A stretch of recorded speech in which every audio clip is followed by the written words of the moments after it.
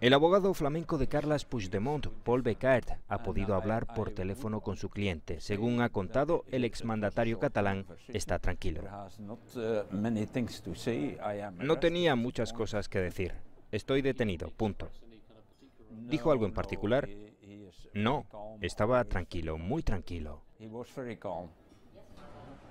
¿Y qué va a pasar ahora? ¿Cuáles son los plazos judiciales?